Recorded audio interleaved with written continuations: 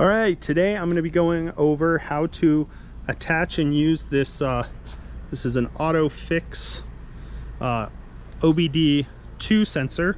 I'm gonna be plugging into my 2013 Volkswagen Passat. Um, so we take this, it's Bluetooth.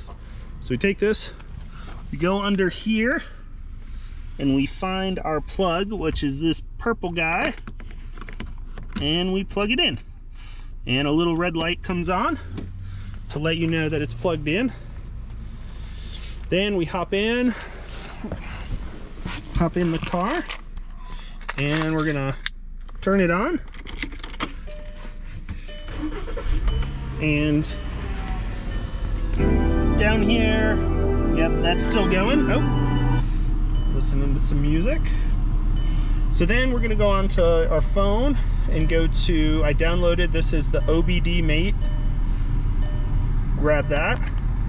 We open it up, we get this. So it's scanning for the vehicle. And it could take a minute. So and now it's gonna scan for trouble codes.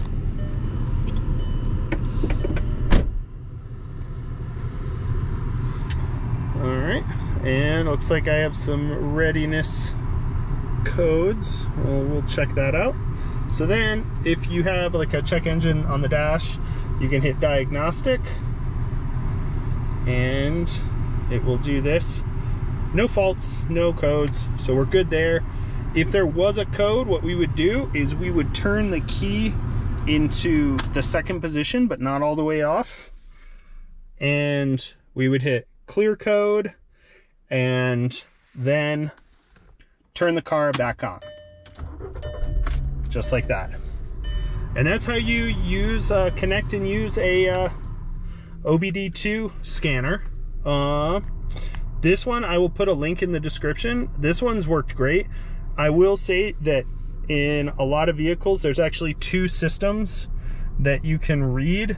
The OBD2 gives you kind of all the basic stuff, and then there's like a more complicated scanner that can do more diagnostic and more for the mechanic side of things.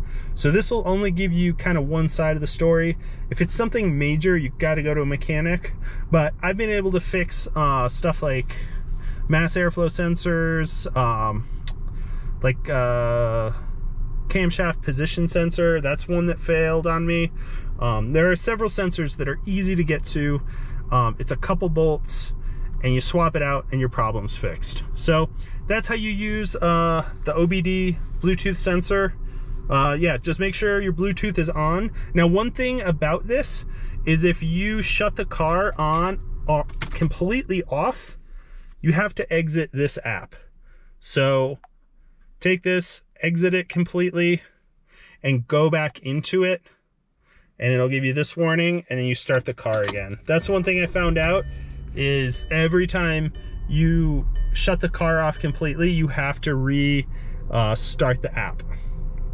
So that's how you use it. I'll have a link into the description for this one. This reader was 30 bucks and it works great for everything I'm doing. If it's more advanced stuff, I'm gonna obviously go to a mechanic. So thanks for joining us and uh, we'll see you next time.